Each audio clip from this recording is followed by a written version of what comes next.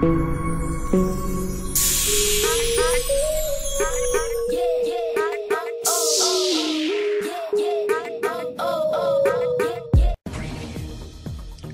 Pemkot Kota Tarakan, MUI Kota Tarakan, perwakilan Ormas Islam dan sejumlah pemilik usaha rumah bordir di lokalisasi duduk bersama dan telah menyepakati aturan ditutupnya lokalisasi di dua tempat, yakni Bengawan dan Karangagas per 28 Desember mendatang. Rapat dilaksanakan secara tertutup. Sayangnya, tidak ada satupun perwakilan dari pemilik rumah usaha bordir yang berkenan untuk diwawancara.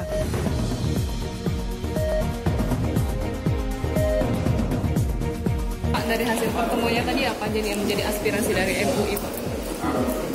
Ya sebenarnya bukan hanya aspirasi MUI, aspirasi kita bersama. Dan ternyata semua sama. Baik dari Bapak Wali Kota, dari Kapolres, dari mana dan sebagainya. Satu bahasa demi untuk umat dan demi negara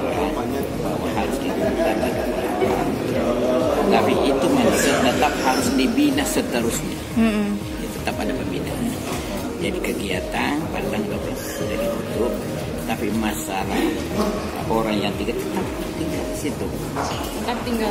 Tetap tinggal sampai kapan saja dia mau pulang ke kampungnya, tetap komunikasi dengan pemerintah, tetap ada pembinaan.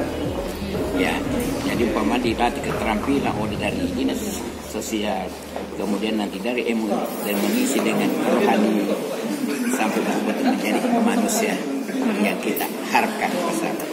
Jadi tadi tanggal berapa Pak? Tanggal 28. Tanggal 28 ya. Ya. Janjiannya tadi di dalam Ya, ya, Pak ya? di tanggal 28 itu tetap ditutup, artinya perstitusi. Tapi masalah tinggal masih tetap, masih, Masih tetap. Karena tempatnya. kita bina. Iya, iya. Bukan kita mengusir, tapi kita mau bina.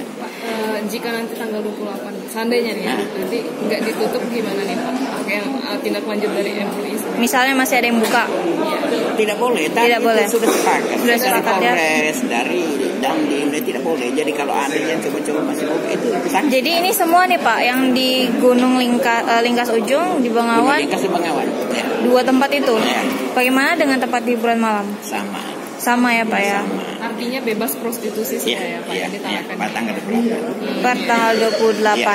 Pak dari jawaban pemerintah tadi gimana nih eh, dari tanggapan dari MUI sudah, sudah puas atau belum? Karena kan sebelumnya kan dijanjikan satu minggu tuh ya dari DPRD. Enggak, bukan masalah itu. Kalau itu tidak ada kita, kita buang jauh-jauh ya masalah itu. Yang penting sekarang ada kesepahaman baik dari DPR maupun dari pemerintah dan lain sebagainya. Semuanya satu bahasa bahwa tanggal 28 harus ditutup, bukan menutup mau mengusir, tapi menutup sesuai dengan perintah dari pemerintah pusat dan mahal. Keputusannya katanya penutupan dilakukan tanggal 28 ya Pak selanjutnya bagaimana nih dari Pemkot? Apa yang akan dilakukan selanjutnya untuk menutup?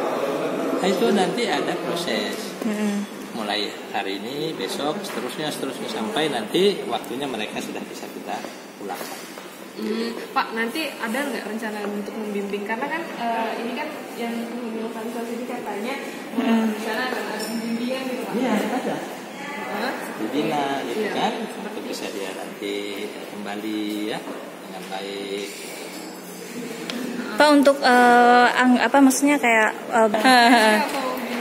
iya itu kan yang sudah juga dari itu kan Jumlahnya berapa Pak? Ada berapa? Hah?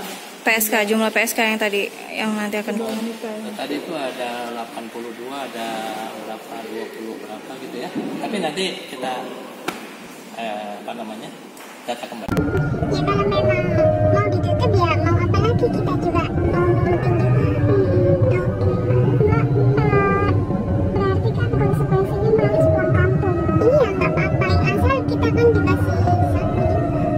biaya pembinaan mereka sendiri ada nggak Pak? Mungkin ditargetkan dalam satu PSK itu dapat berapa untuk Ada biaya pemulangan? kita ikuti aturannya kan Hmm, Berapa tuh Pak? 5,5 kan 5,5. itu nanti ada untuk ini untuk ini gitu kan Terus untuk pengajuannya mereka sendiri ada kayak eh, prosedurnya nggak Pak? ada nanti kan setelah ini saya tugaskan dinas yang menangani untuk memvalidasi kembali data Hmm, semuanya ada lagi pertemuan terus terus menerus mulai hari besok sampai Mulai besok sampai tanggal 28 nanti nih Pak ya? terus terus terus, terus. Pak 5,5 nya tuh 5,5 5 juta. Juta. Bukan 5 juta 500 Masa per orang. Aduh.